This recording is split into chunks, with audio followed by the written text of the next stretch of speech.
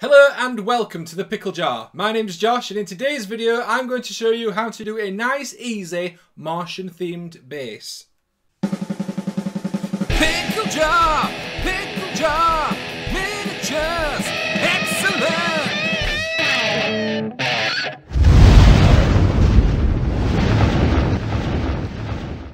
Guys and welcome back to the Pickle Jar for another painting tutorial. Just before we get started, just want to say that if you are enjoying the content we're putting out here on the Pickle Jar, be sure to leave a like and a comment down below, let me know your thoughts. And if you're new, please consider subscribing so you can keep up to date with all the content we release in the future.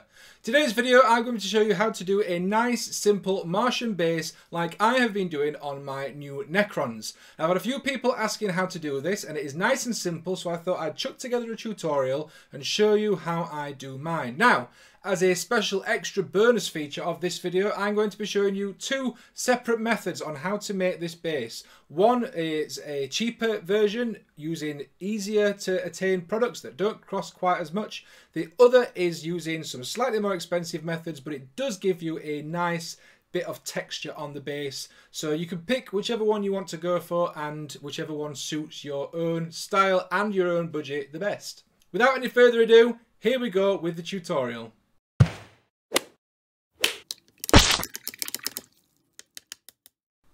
So here we are, I have two bases that I've sort of prepped, covered the slots over with a bit of plasticard, and what I'm going to do is show you two separate ways of doing the Martian base, the nice cheaper way and then the slightly more expensive way. So we're going to start off with the cheaper way first. So anyone that's done any kind of miniature basing will be very familiar with what we're about to do and that is just to add a nice layer of PVA glue all across the base, not too thin, not too thick, just spreading it all across so that there's a nice amount of glue for the sand to stick to which we are going to do very shortly when we dunk the base headfirst into the tub of sand.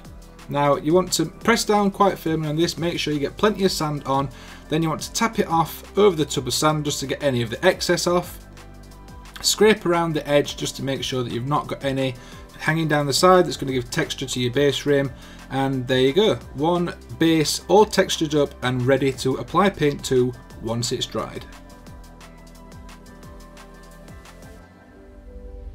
Now that it's all dry, I then gave it a quick prime with a black primer and it was then time to start adding on some colour. So all I'm doing here is with a large tank brush, just going all over, give it a nice covering of Tuskgor Fur. Now this will give it the base sort of reddy orange colour that you're wanting to get for a nice Martian base.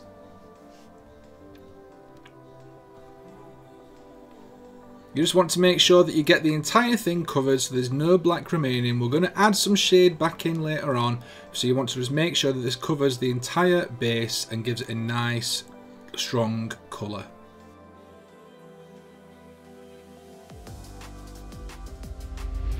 Once that coat of paint has dried, it's time to give it a heavy dry brush with Trollslayer Orange. Now this will brighten up the base quite a lot. You just want to stipple this on, dry brush it all over, don't worry about getting the very recessed areas in the Trollslayer Orange. It is mainly for the top, but if you do get the recessed areas in, it's fine. We're going to add the shading later. Don't worry about it. This will give you a nice bright coat and then we are not far from finished with the paint on this one.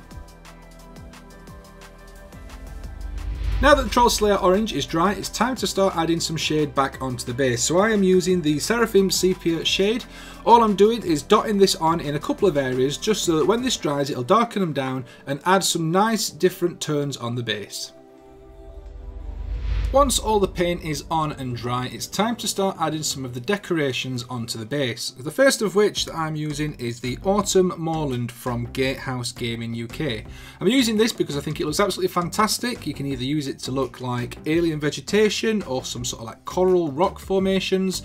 Whichever you want to go along with, I think this looks really cool and it's something a little bit different than just using sort of tufts and rocks and things.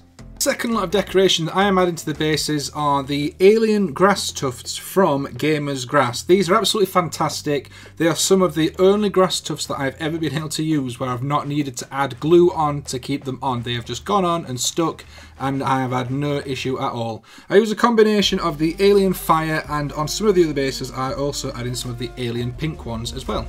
Now, as promised, I said that I would show you a slightly different method on how to achieve the Martian base. So that is what I'm going to do now. We are going to be using the Martian Ironcrust Technical Paint from Games Workshop. And we're using this instead of the PVA glue and sand that we used on the other version of the Martian base. All you want to do with this is just scoop it out using either a coffee stirrer or something like I'm using, like an old sort of green stuff molding tool thing.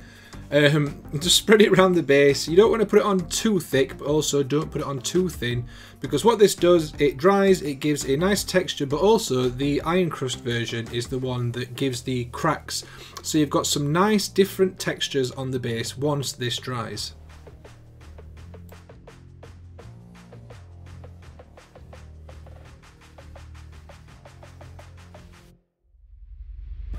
Once it's all dried and set, you can see that it gives some nice different textures on there. And all we're going to do is try and exaggerate some of these by once again giving a dry brush of Trollslayer Orange and just stippling this on, adding this on. You want to be a little bit more selective than you were on the other type of base just because you don't want to cover it up too much.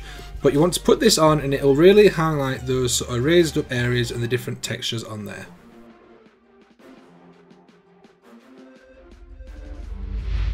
Once the dry brush layer has dried, it's time to add a bit of shade back in, once again using the Seraphim Sepia.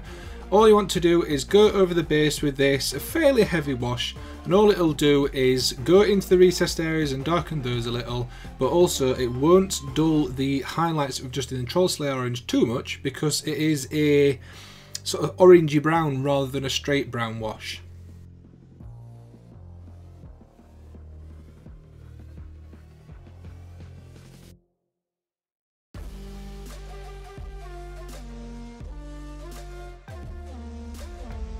Once the paint and all the washes and everything is dry, all I need to do now is add on the bits of decoration as I did on the other base. So I'm just adding the coral looking things, the vegetation and rocks and whatever, and adding on the grass tufts from Gamer Grass. All I'm doing this is exactly the same as I did on the previous base, adding a bit of super glue and then just putting these down where I see fit.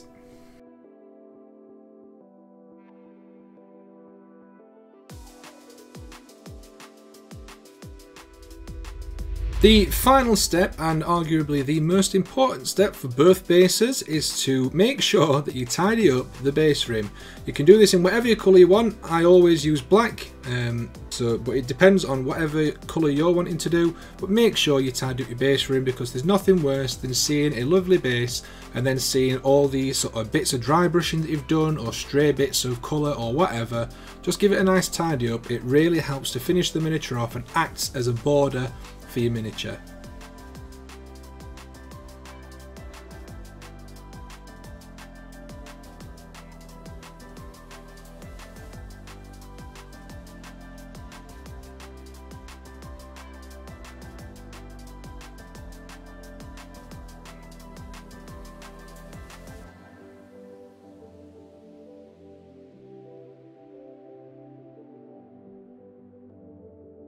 Both the bases that I've created in today's tutorial I have actually gone on to use, one for my Royal Warden and one for my Plasmancer and I am happy with both of them.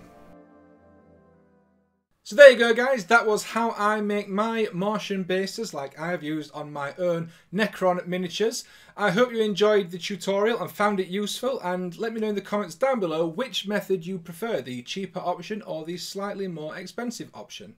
I hope you enjoyed the tutorial and found it useful. If you did, be sure to leave a like and a comment down below in the description. Let me know your thoughts. And if you're new to the Pickle Jar, then please consider subscribing so you can keep up to date with all the content we release in the future. If you want to see more content here on the Pickle Jar, we have a full tutorials playlist. I will link that in the top right hand corner right about now.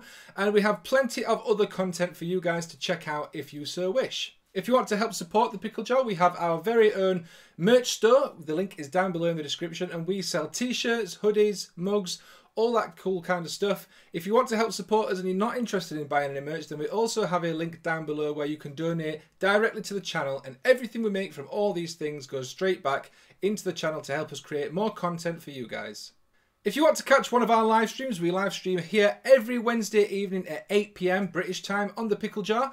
If you want to get involved with picking what we're going to be painting on the live stream, then head on over to our Facebook page where we put a poll out every Monday, letting you decide what miniature we're going to be painting live on stream. If you've not got Facebook, then we also post the poll on our Instagram story. Speaking of live streams, you can also catch us over on the Chilling Wargamers channel. I host the show along with Spud and Elston. It's always a good laugh. The chat is always absolutely amazing. So make sure you follow the link below and check us out on one Thursday evening at 8 pm. That's all from me, and I'll see you next week with another video.